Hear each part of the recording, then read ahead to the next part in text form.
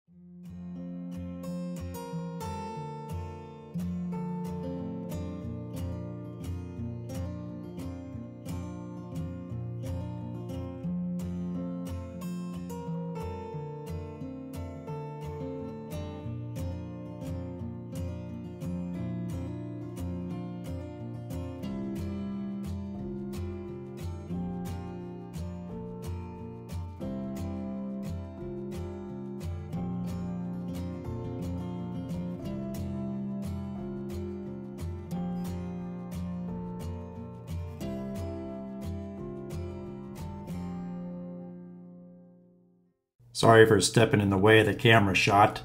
So if you're not aware, a submeter has many uses. It can meter the amount of electricity a specific circuit uses. So for example, in an office building, you can determine how much electricity each of your tenants use if you install a submeter uh, before their circuit breaker panel in this case, we're installing the submeter just before this electric vehicle charger.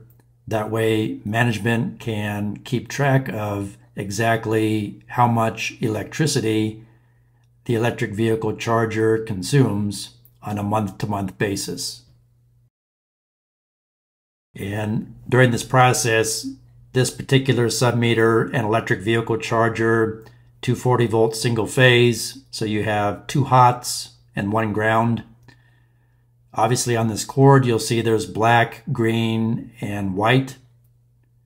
So what I'll do is I'll apply red electrical tape to the white wire because we do not want that to be mistaken for a neutral because it is not a neutral, it's a second hot wire. So again, you can clearly see on that white wire that I have red electrical tape and I'll do that throughout this installation.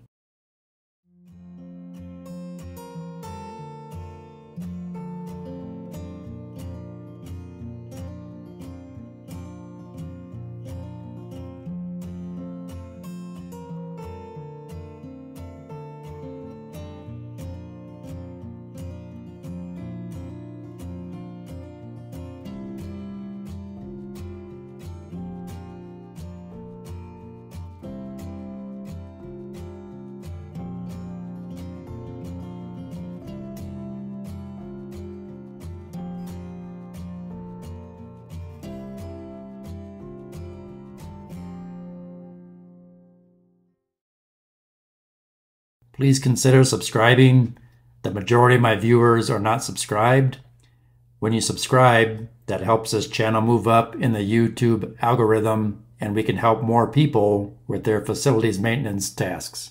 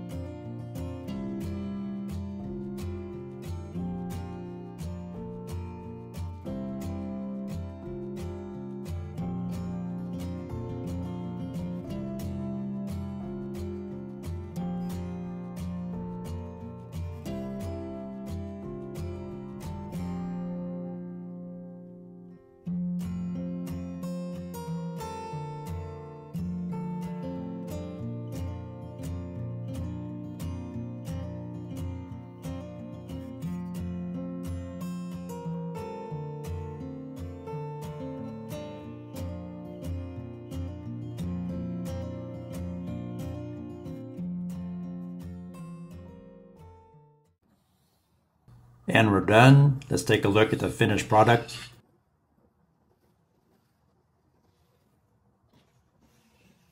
Wow. Please like, share, subscribe, leave me a comment, and thanks for watching.